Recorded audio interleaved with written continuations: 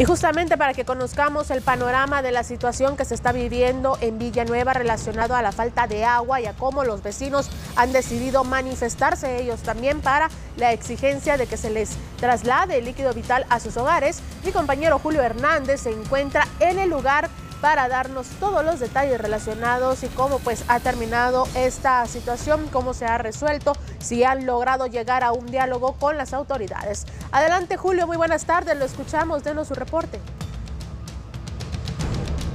Gracias compañeros, muy buenas tardes en el estudio central. Eh, nosotros estamos ubicados aún acá en eh, el sector del Búcaro la zona 12 de Villanueva, pues eh, ya se ha terminado con este bloqueo de parte de los vecinos, quienes lo que solicitaban era más agua potable. Hay un problema de abastecimiento de agua en este sector del Búcaro, de zona 12 de Villanueva. Como ustedes pueden ver, pues ya se ha logrado tener un acercamiento con autoridades de la Municipalidad de Villanueva y de momento una solución.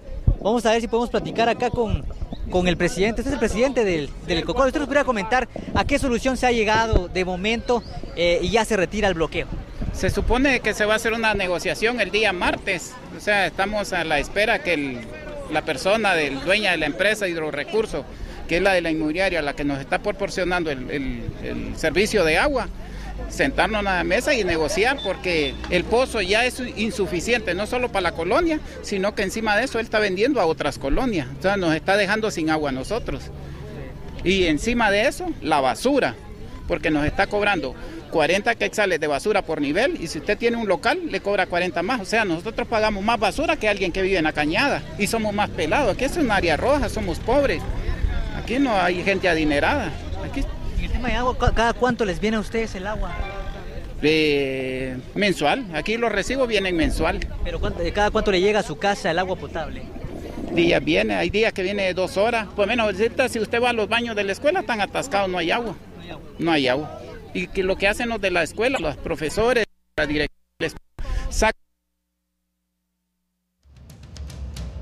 culmine la clase para que se vayan a su casa a hacer sus necesidades, porque no hay agua. El problema es, los afecta entonces también a los niños. A todos, aquí nos afecta a todos, no solo a los niños, a todos en general. Y aquí puede ver usted los recibos que nos están cobrando los excesos de agua, excesos de aire, porque no hay agua.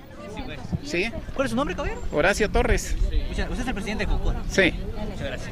Bueno, es parte de lo que hemos podido nosotros eh, eh, dando, a conocer desde muy temprano con respecto al bloqueo. Eh, ¿Qué es lo que está pasando? Aquí está, de 230 un recibo de agua y basura, 315 de otra señora, ahí dice que la otra me vino a dar queja, mire, 302.85 y sin agua nosotros, 330 y sin agua nosotros. Y si se da cuenta,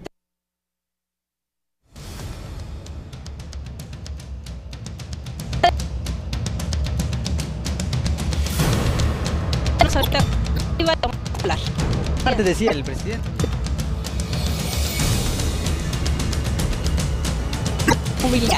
Entonces, que cuenta lleven fotos por si ustedes no nos creen, aquí está el comprobante de la gente y con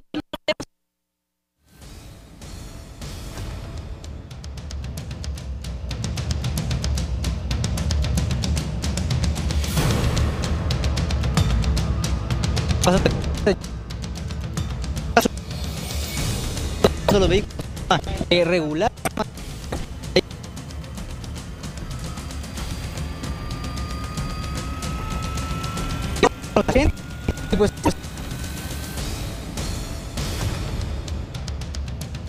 la municipalidad de Villanueva para y de esta forma se retira este bloqueo para poder buscar una solución y poder brindarles de agua potable a todas las personas acá en la colonia del Búcaro en Villanueva. Y con esta información entonces que ustedes han escuchado de la voz de los eh, dirigentes del COCO de acá de El Búcaro, vamos a retornar entonces hasta el estudio central. Muy buenas tardes.